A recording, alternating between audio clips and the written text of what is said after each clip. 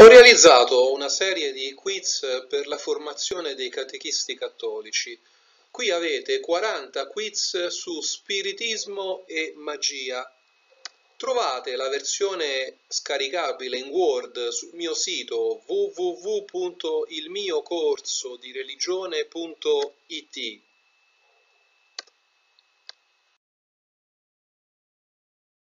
Che cos'è lo spiritismo? Il termine spiritismo viene genericamente usato come sinonimo di prassi atta a comunicare con le anime dei defunti. L'usanza di evocare le anime dei defunti è tipica di un movimento filosofico religioso conosciuto come spiritismo. Quali sono i principali motivi per cui gli spiritisti cercano di comunicare con gli spiriti. I motivi sono diversi, i principali sono per comunicare con una persona defunta, per avere la certezza dell'esistenza dell'aldilà, per ricevere degli insegnamenti, per conoscere il futuro o per conoscere fatti nascosti accaduti nel passato. Quale libro viene considerato il testo base dello spiritismo occidentale? La parola spiritismo compare per la prima volta nel volume di Allan Kardec, pubblicato a Parigi nel 1857, con il titolo Il libro degli spiriti, contenenti i principi della dottrina spiritica sull'immortalità dell'anima la natura degli spiriti e i loro rapporti con gli uomini, le leggi morali, la vita presente, la vita futura e l'avvenire dell'umanità, secondo l'insegnamento dato dagli spiriti superiori per mezzo di diversi medium. Il titolo di questo testo viene spesso abbreviato in Il libro degli spiriti. Secondo gli spiritisti esistono angeli e demoni? No, non esistono angeli e demoni, ma solo spiriti di diverse categorie.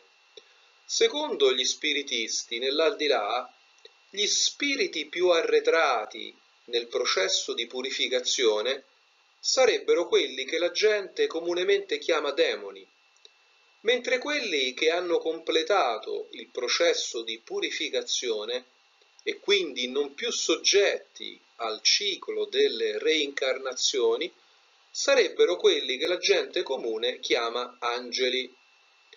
Quelli che noi chiamiamo angeli sono spiriti giunti alla beatitudine attraverso molteplici reincarnazioni i demoni invece non sarebbero che spiriti al più basso grado di perfezione e per questo vengono chiamati spiriti imperfetti.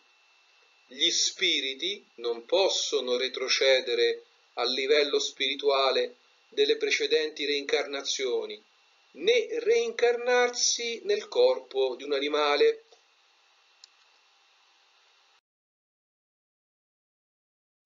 Chi è Gesù secondo gli spiritisti? Gesù, la Madonna e i santi vengono considerati spiriti superiori, ma non viene assolutamente riconosciuto loro il ruolo e la figura che invece attribuisce loro la cristianità. Gesù Cristo non viene riconosciuto come Dio che si è fatto uomo, ma ridotto a spirito modello, cioè spirito giunto a perfezione. Chi è Satana secondo gli spiritisti? Satana è la personificazione del male sotto forma allegorica, poiché non si potrebbe ammettere un essere malvagio in lotta da pari a pari con Dio, dicono gli spiritisti. Esistono paradiso, purgatorio e inferno secondo gli spiritisti? Ci sarebbe secondo gli, spiritisti solo il paradiso e molto differente da come è, viene concepito dalla fede cristiana. Non c'è né inferno né purgatorio, non esiste la possibilità della perdizione eterna come invece dicono i cristiani. Per Allan Kardec tutti prima o poi giungono alla salvezza, è solo questione di tempo.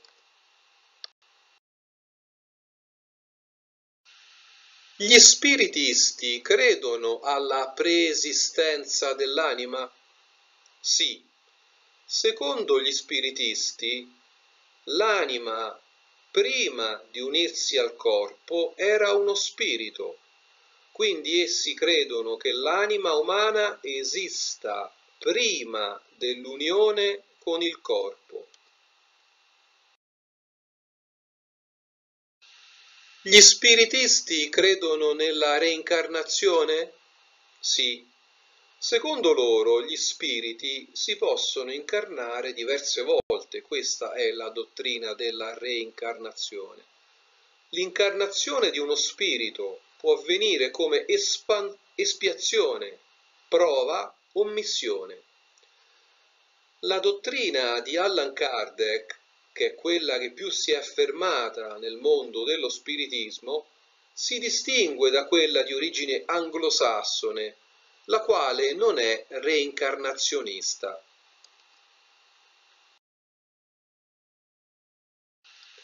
Secondo gli spiritisti, uno spirito può reincarnarsi su un altro pianeta?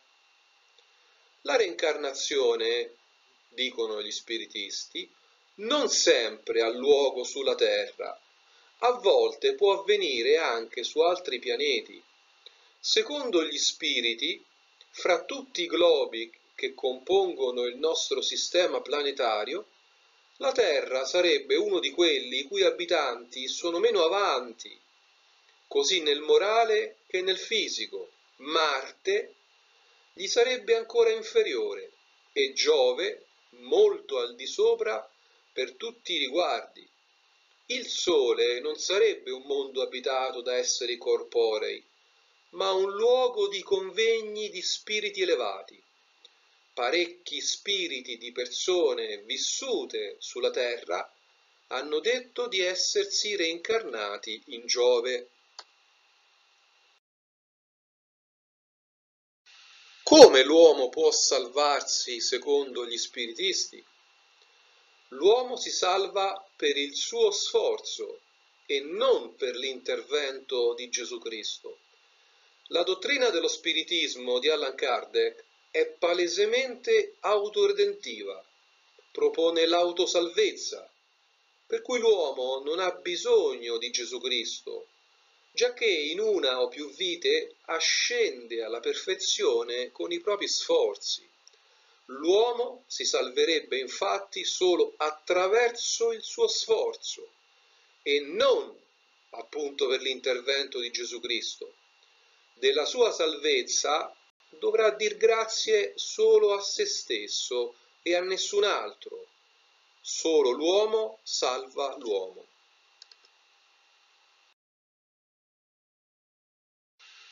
Quali sono i principali punti divergenti tra la dottrina spiritista e la dottrina cattolica?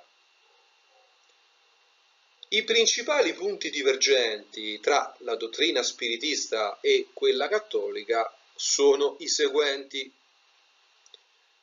Secondo gli spiritisti non esistono angeli e demoni, ma solo spiriti di diverse categorie. Gesù e la Madonna i santi non sono solo spiriti superiori. Satana è la personificazione del male sotto forma allegorica non esiste un inferno eterno. L'anima, dicono gli spiritisti, prima di unirsi al corpo era uno spirito, dottrina della preesistenza dell'anima. Gli spiriti si possono incarnare diverse volte, dottrina della reincarnazione. L'uomo si salva per il suo sforzo e non per l'intervento di Gesù Cristo. Che cos'è il channeling? Un evento channeling è un incontro dove i partecipanti si trovano di fronte alla possibilità di comunicare ascoltando e ricevendo energia di guarigione da guide di luce e amore, spiriti sacri, angeli, arcangeli, esseri di luce disincarnati, i quali portano a noi argomenti a fini evolutivi per l'essere umano. In sintesi, il channeling è una forma moderna di spiritismo.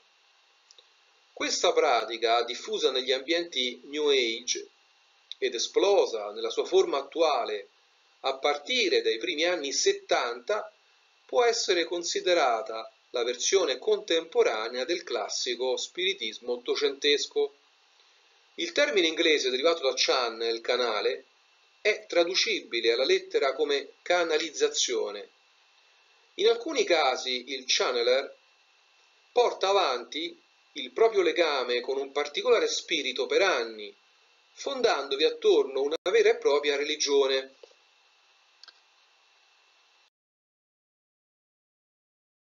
È possibile tramite una seduta spiritica comunicare con un defunto?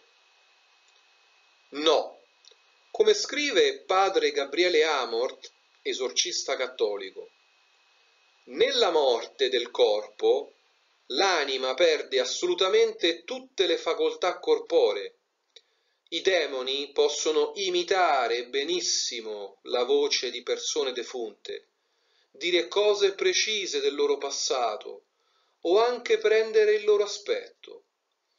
Più volte, scrive ancora padre Gabriele Amort, esorcista cattolico, più volte ho avuto casi di genitori che mi hanno accompagnato figli, anche giovanissimi, che dopo una o più sedute spiritiche fatte per gioco, non riuscivano più a studiare, a riposare, a mangiare, avevano incubi o cose simili. Poteva trattarsi di turbe psichiche, ma poteva trattarsi anche di mali malefici che poi si evidenziavano con l'esorcismo.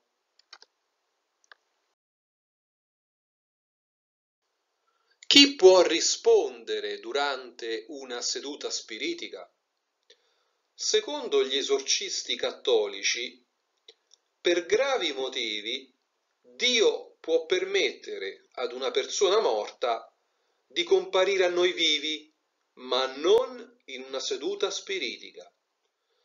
Per gli esorcisti cattolici, in rarissimi casi, a una seduta spiritica può manifestarsi qualcuno, ma non è un defunto, ma un demone che fa finta di essere un parente defunto. Ecco perché una seduta spiritica può tramutarsi nell'invocazione di un demone e provocare disturbi di possessione nei suoi partecipanti.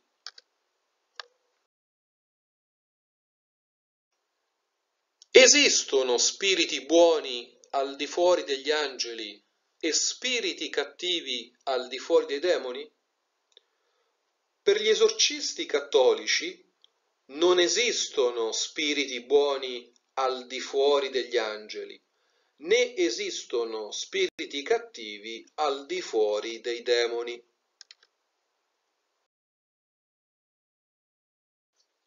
Esistono anime vaganti? Scrive il demonologo cattolico padre Moreno Fiori.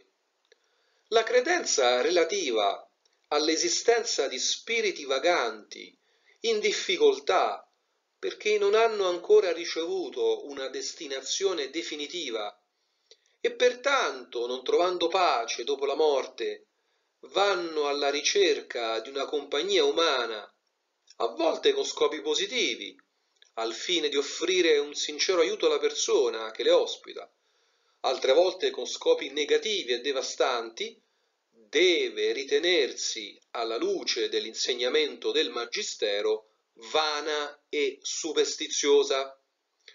Infatti è opportuno ricordare in proposito la posizione del Magistero della Chiesa Cattolica.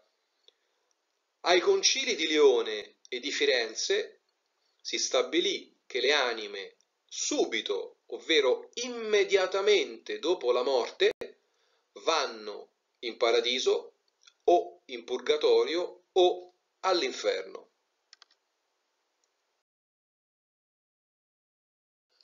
Le anime dei defunti possono fare il purgatorio nelle persone viventi?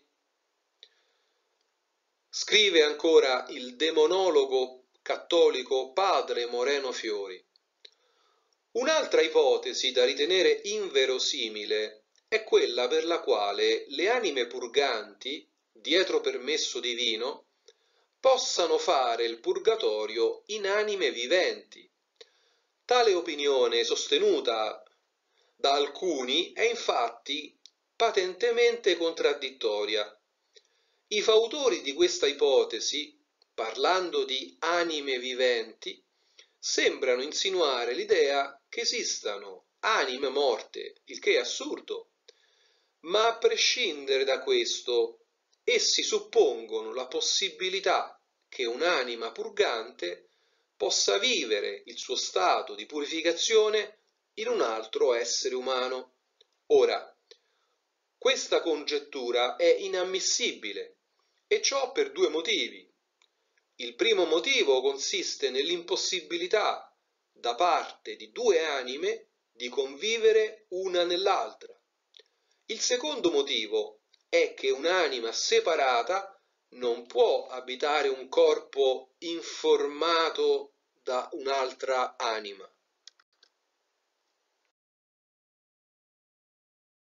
Il demonio può servirsi di anime dannate per molestare i vivi? Scrive ancora il demonologo cattolico padre Moreno Fiori.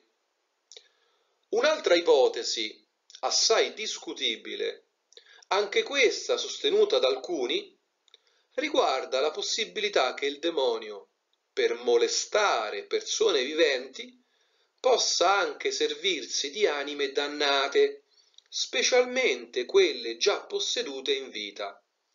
Secondo questi studiosi, infatti, nulla vieta che Dio possa concedere al diavolo di usare i reprobi. Ora, scrive padre Moreno Fiori, le anime dei reprobi non escono dall'inferno se non per concessione divina, per ammonire o per provare gli eletti. Questa uscita delle anime dei dannati dal carcere tenebroso può realizzarsi mediante delle apparizioni. L'apparizione delle anime dei dannati è un fatto straordinario che richiede uno speciale e miracoloso intervento di Dio, non avendo dette anime, al contrario degli spiriti angelici, sia buoni che cattivi, il potere di materializzarsi. Per questo motivo diversi teologi sono dell'avviso che le apparizioni delle anime dei reprobi siano da attribuire ai demoni, i quali ne assumerebbero le fattezze, la voce e persino i nomi che avevano in vita. I defunti conoscono direttamente ciò che avviene qua giù? Scrive Ancora il demonologo cattolico padre Moreno Fiori. Le anime dei defunti, considerata la loro condizione di natura, non possono conoscere direttamente ciò che avviene nel mondo dei viventi. Le anime separate, infatti, sono segregate dal consorzio dei viventi e quindi ignorano le vicende di qua giù. Tuttavia è possibile che esse ne abbiano una conoscenza indiretta, sia per mezzo delle anime che giungono ad esse da questo mondo, cioè chi muore, sia per mezzo degli angeli o dei demoni, oppure per una rivelazione dello Spirito di Dio. È però da escludere, a meno che Dio non lo disponga, che tale conoscenza possa vertere sui segreti pensieri del cuore umano e gli avvenimenti futuri liberi. Sant'Agostino scrive Bisogna dunque concludere che i morti non sanno quel che si fa qui nel momento che avviene. In seguito però vengono a saperlo da quelli che passano dal nostro mondo a loro, ma non tutto, solo quello che è permesso loro di raccontare. E del resto, aggiunge Sant'Agostino, essi possono ricordare solo quanto è opportuno che sappiano gli spiriti a cui lo raccontano anche dagli angeli che assistono alle cose di questo mondo, i morti possono sapere qualcosa. E infine Sant'Agostino scrive, ancora gli spiriti dei morti possono sapere per rivelazione dello Spirito Santo le cose che avvengono qui. San Gregorio Magno è dell'opinione che le anime dei beati in virtù della loro adesione perfettissima alla giustizia divina, possano invece conoscere tutti gli avvenimenti attuali di questo mondo. Anche una seduta spiritica fatta per gioco o per curiosità può essere pericolosa? Scrive padre Gabriele Amort, esorcista cattolico. Più volte ho avuto casi di genitori che mi hanno accompagnato figli, anche giovanissimi, che dopo una o più sedute spiritiche fatte per gioco non riuscivano più a studiare, a riposare, a mangiare. Avevano incubi o cose simili. Quindi la risposta è sì.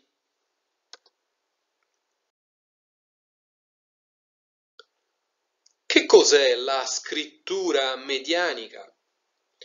La scrittura medianica o scrittura automatica è una forma di spiritismo. Essa viene fatta sia in gruppo che da soli. Nel secondo caso il medium avverte al braccio una sorta di scossa e la mano comincia a scrivere da sola, indipendentemente dalla volontà parole e frasi che il medium non conosce e con una calligrafia non sua. Esistono alcune varianti di questa tecnica, quindi scrittura medianica vuol dire una, un modo di fare una seduta spiritica. Il demone usa la mano della persona per, per scrivere. Esistono, dicono gli esorcisti cattolici, alcune varianti di questa tecnica che sono la pittura medianica e la musica medianica. In entrambi i casi le capacità espressive sono avulse dal reale contesto cognitivo della persona.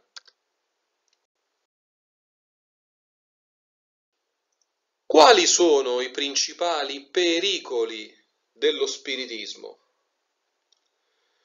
I principali problemi fisici derivanti dall'aver partecipato a una seduta spiritica sono, scrivono gli esorcisti cattolici, forti dolori di stomaco, dolori alla fronte e ossa, vomito, crisi epilettiche, formicolia alle gambe, attacchi improvvisi di calore o di freddo, aumentando il senso di ansia, depressioni, tic nervosi costanti, o l'impossibilità di prendere prendere il cibo. Ma ce ne sono ancora molti di più. Incapacità di dormire la notte o di giorno, incapacità di studiare o lavorare, tendenza ad essere agitato, ad avere incubi, avere paura del buio, avere la sensazione di essere afferrato per le braccia o la sensazione di qualcuno seduto sul nostro corpo si sentono anche schiaffi invisibili e morsi, nonché colpi al corpo. fenomeni come l'autoesclusione dal contesto sociale quotidiano, stati di dipendenza come quelle di alcol o droghe, perdita della razionalità e la libertà, la dissociazione da una propria personalità al punto di sentire che qualcuno è entrato al posto della nostra persona. Voci che si sovrappongono sulla preghiera e bestemmiano e portano al suicidio. Per quanto riguarda i danni ai luoghi, si potrebbe dire che sono indicati da fenomeni quali il movimento di oggetti senza alcuna causa ragionevole, campanelli o strumenti musicali che vengono improvvisamente sentiti. Menzione deve essere fatta anche di rumori forti sul tetto, le pareti o il pavimento, grida e voci nell'aria, il rumore dei passi, visioni scure o presenze mostruose.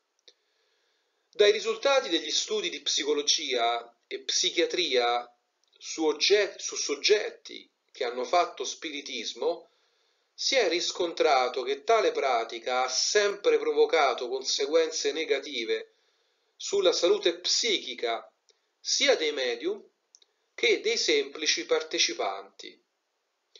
Nel 1855 un quarto dei 200 malati di mente dell'ospedale di Zurigo erano spiritisti e così due quinti dell'ospizio di Gand. È possibile che l'anima di un defunto appaia ai vivi? Secondo i teologi cattolici, a volte Dio concede alle anime dei defunti di apparire ai vivi. Un contatto diretto, cioè visibile o uditivo, è possibile. Sì, dicono i teologi cattolici, cattolici, ma senza nessuna evocazione, solo per libera iniziativa di Dio, per finalità serie, come portare un messaggio, consigliare un rimedio, informare su qualcosa che è accaduto o prevenire un pericolo, confortare in un momento di particolare sofferenza, chiedere suffragi o ringraziare per i suffragi. Ma i mezzi che può usare Dio per concedere un contatto diretto con un defunto non sono mai quelli delle sedute spiritiche. Ne troviamo esempi nella Bibbia e nelle vite dei santi. Le apparizioni dei defunti possono essere mediate dall'intervento degli angeli, sia buoni che cattivi.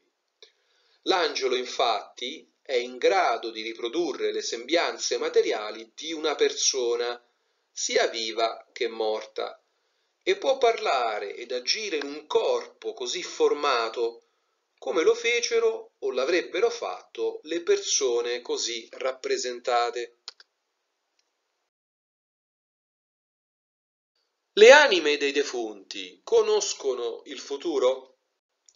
Secondo gli esorcisti cattolici, solo Dio conosce il futuro contingente.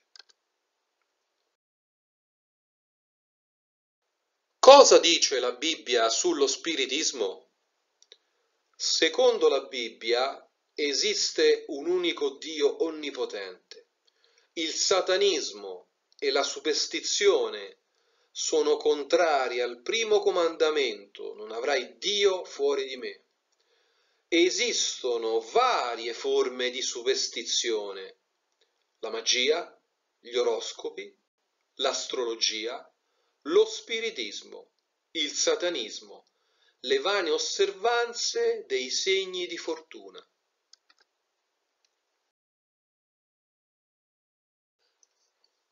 Cosa pensa la Chiesa cattolica dello spiritismo?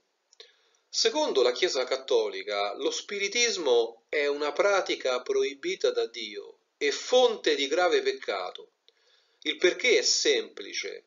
Dio è Padre e cerca di proteggerci dagli inutili pericoli dicendoci con le sacre scritture cosa possiamo o non possiamo fare. Evocare gli spiriti o le anime dei morti è un grande rischio perché ci espone a influssi e disturbi di tipo malefico. Anche gli apostoli mantengono questa proibizione nel Nuovo Testamento in quanto rifiutano tutte le arti magiche. Ai numeri 2116 e 2117 del Catechismo della Chiesa Cattolica troviamo scritto Tutte le forme di divinazione sono da respingere, ricorso a Satana o ai demoni, evocazione dei morti o altre pratiche che a torto si ritiene che svelino l'avvenire.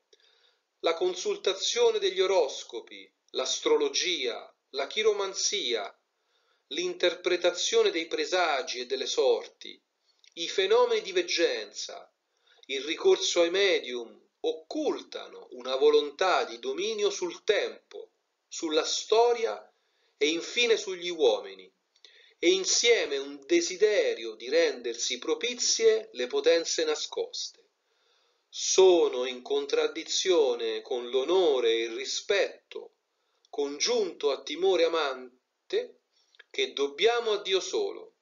Lo spiritismo spesso implica pratiche divinatorie o magiche. Pure adesso, pure da esso la Chiesa mette in guardia i fedeli. Che cos'è la divinazione? È il presumere di poter comunicare in vari modi con forze occulte per scoprire cose nascoste, soprattutto il futuro.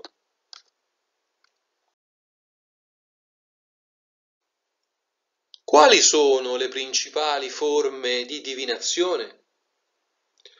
Lo spiritismo ha scopo divinatorio, cioè l'evocazione dei morti e degli spiriti, o per interrogarli su eventi futuri con la convinzione che essi li conoscano, oppure per chiedere consiglio o per porre domande di vario genere.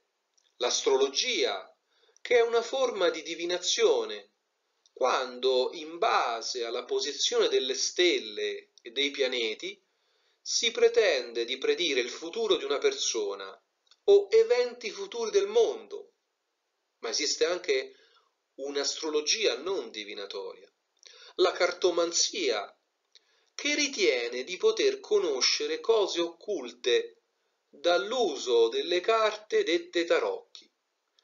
La chiromanzia, che pretende di interpretare e predire lo sviluppo e la storia dell'uomo in base alle linee del palmo della mano. Cosa dice la Bibbia sulla divinazione? Levitico 20:27 Se uomo o donna in mezzo a voi eserciteranno la negromanzia o la divinazione, dovranno essere messi a morte. Levitico 19:31 Non vi rivolgerete ai negromanti né agli indovini, non li consultate, io sono il Signore vostro Dio. Levitico capitolo 20 versetti 6 e 7. Se un uomo si rivolge ai negromanti e agli indovini per darsi alle superstizioni dietro a loro, io volgerò la faccia contro quella persona, perché io sono il Signore vostro Dio. Cosa dice la Chiesa cattolica sulla divinazione? Al numero 2115 del Catechismo della Chiesa Cattolica troviamo scritto Dio può rivelare l'avvenire ai suoi profeti o ad altri santi.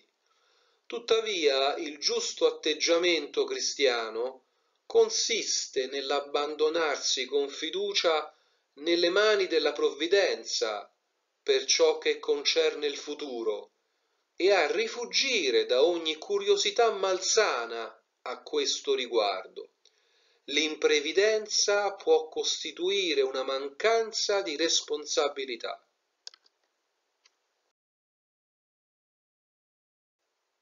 Cos'è la magia secondo gli esorcisti cattolici? Scrive padre Gabriele Amort, esorcista cattolico.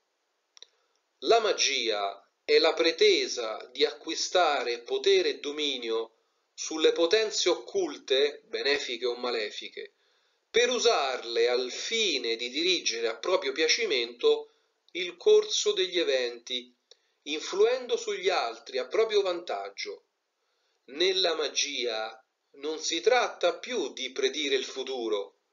Qui l'uomo stesso intende produrre gli effetti straordinari utilizzando forze nascoste.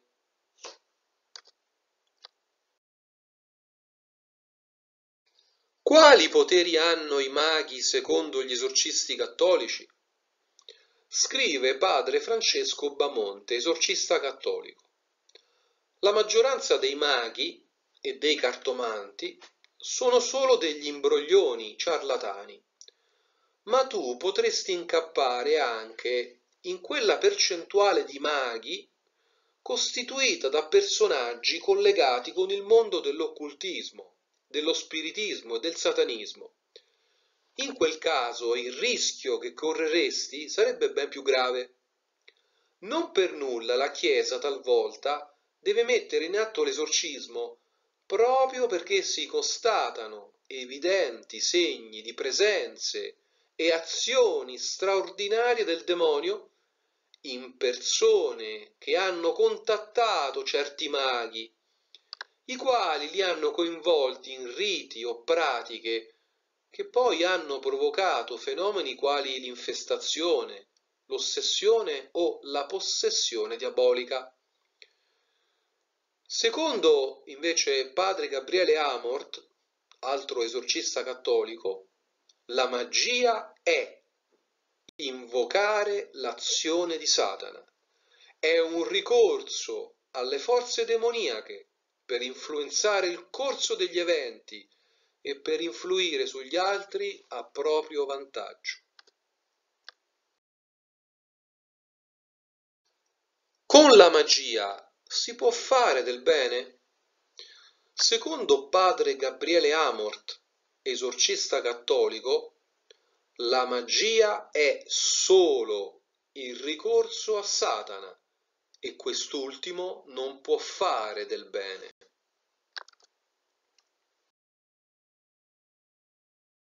Cos'è un maleficio secondo gli esorcisti cattolici?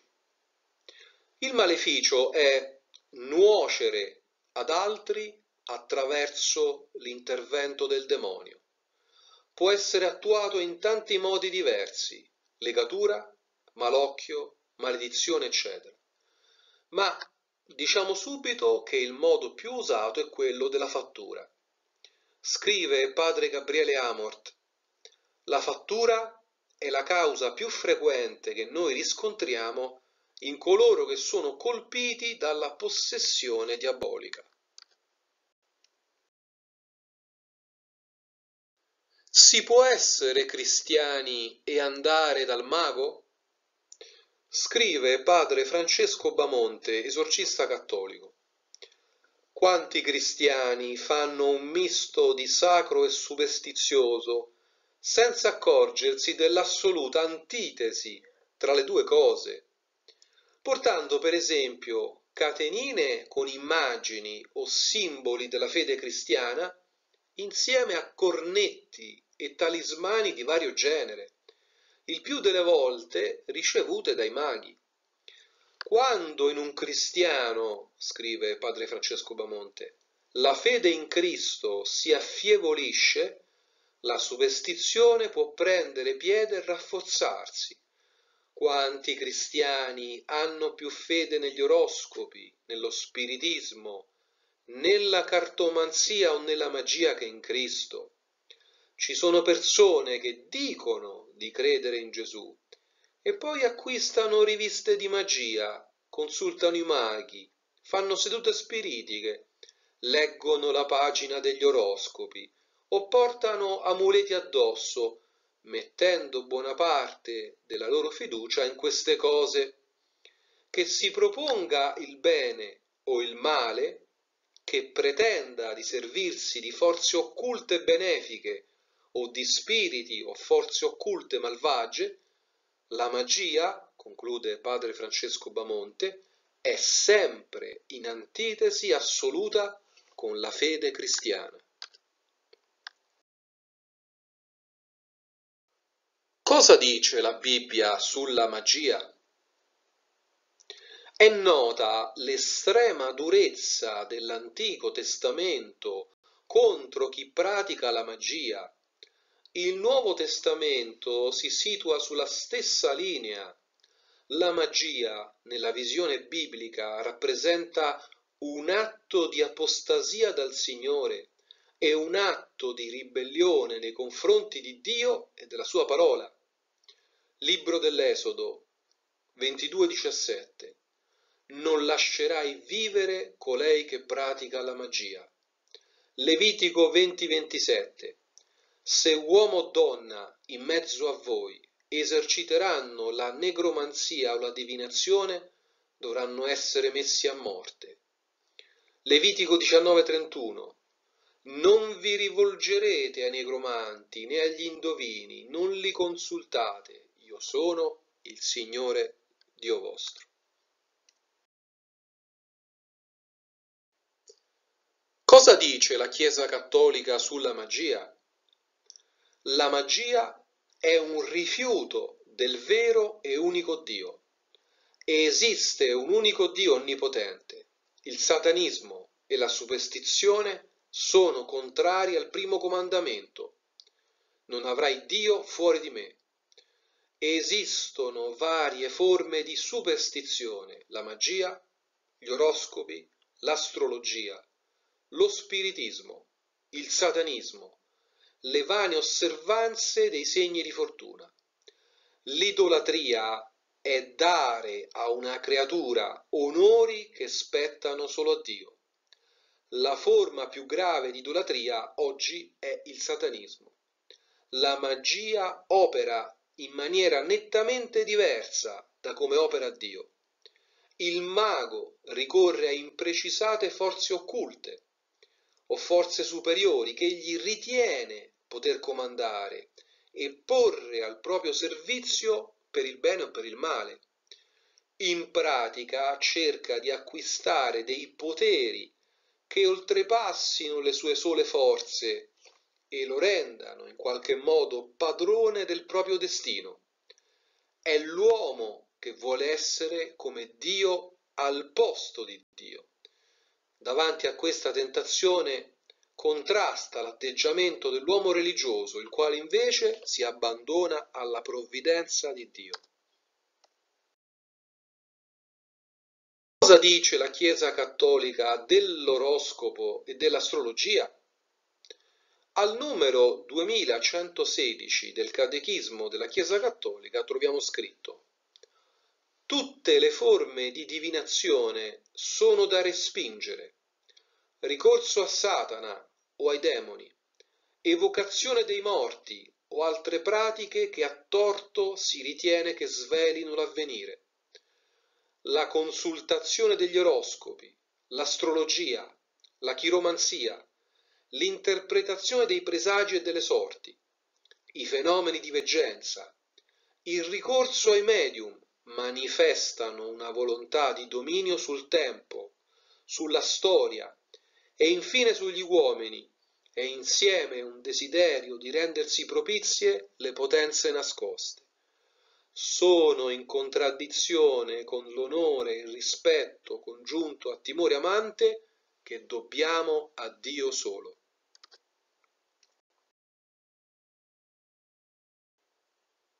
Si può essere cristiani e superstiziosi?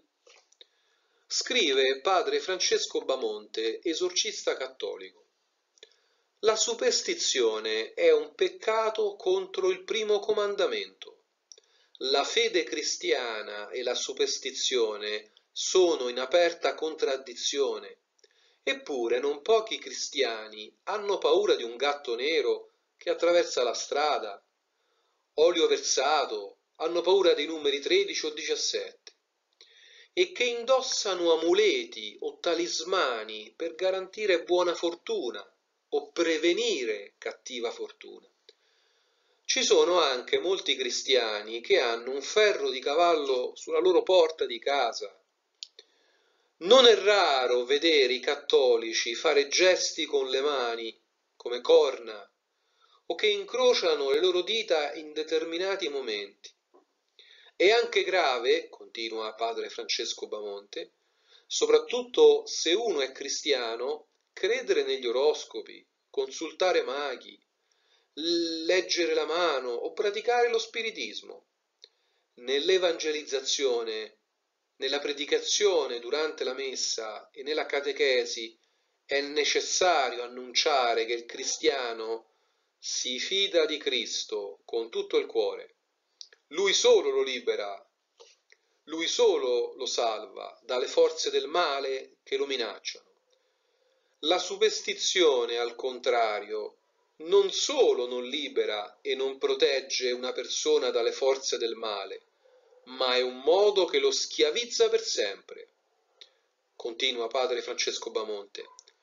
Con il termine superstizione intendo riferirmi, come fa la Bibbia, alla magia, alla divinazione, al sortileggio, al maleficio, allo spiritismo, all'astrologia, le pratiche superstiziose allontanano l'uomo da Dio e dalla verità per sprofondarlo sempre più nella menzogna e nelle tenebre. Dio, sia nell'Antico Testamento che nel Nuovo Testamento, parla frequentemente di tali pratiche per metterci in guardia da esse. La superstizione, infatti, offusca la fede, altera l'autentico rapporto con Lui sostituendolo con forme diverse che non conducono l'uomo all'incontro con il suo creatore. La magia è superstizione, idolatria, perché è tutta una ricerca al di fuori di Dio e delle sue leggi. Si cercano altre vie, altre leggi, altre divinità che vengano in nostro aiuto.